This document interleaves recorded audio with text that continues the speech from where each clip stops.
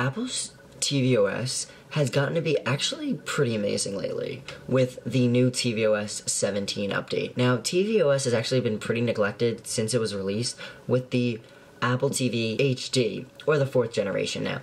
So, I actually have one back there up with my TV, and I use it every night. And I decided to install the beta on it because the developer beta was free this year, and I kind of just said, no, let's see what it's about. So, to start off, we have a home screen that's similar to the old one we had, but we actually get an extra row. So instead of having five rows across, we have now have six, and this is really nice because when you have a bigger TV, it's kind of annoying to have the apps just have five. And this is something I said with iPad OS 17, and Apple seems to be listening for tvOS, but not iPad or iOS. But that's a topic for another day.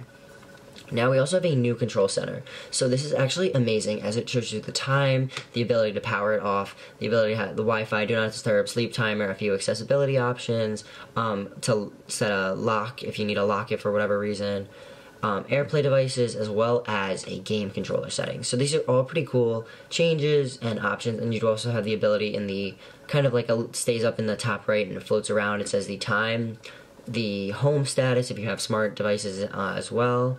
So it's all pretty nice features.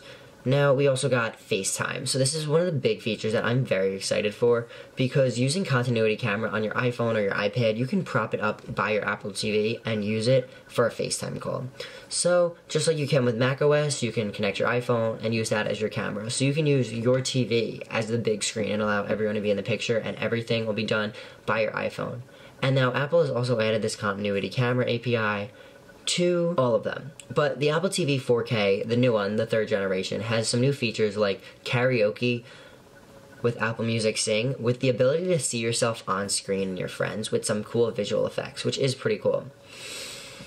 Now, we also have the ability to find your Apple TV remote using Find My. So this isn't out just yet, but if you have a second generation Siri remote or later, so not this one, which has the buttons, the menu button, and all of these buttons, which I'm actually a very big fan of this remote, but we do not get Find My support for this one, but you do for the other ones. So it kind of works like an AirTag where you can move it around. While you can't play a sound, you can move it around to help you pinpoint it, which I think is so cool because it'll help you find the remote when it gets stuck in the couch cushions or lost in bed or just dropped on the floor.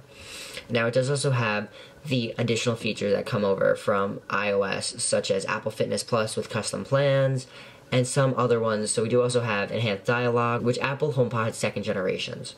And we also do get some third-party support for VPN. And what's great about tvOS 17 is it actually doesn't drop support for any of the devices that currently support tvOS 16.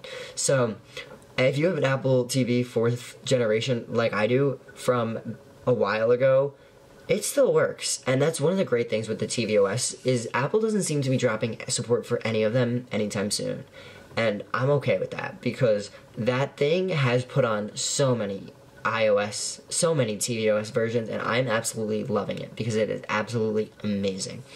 Now, tvOS has come a long way from where we used to be. So, the third generation, or the one I had before this, you couldn't download apps. You couldn't have an app store. You couldn't have have these features. And now we have an app store, FaceTime. We're getting even more features from these devices. And I bought that five, six, seven years ago now, and it's great. And Apple is adding more features to it, and I'm absolutely loving it.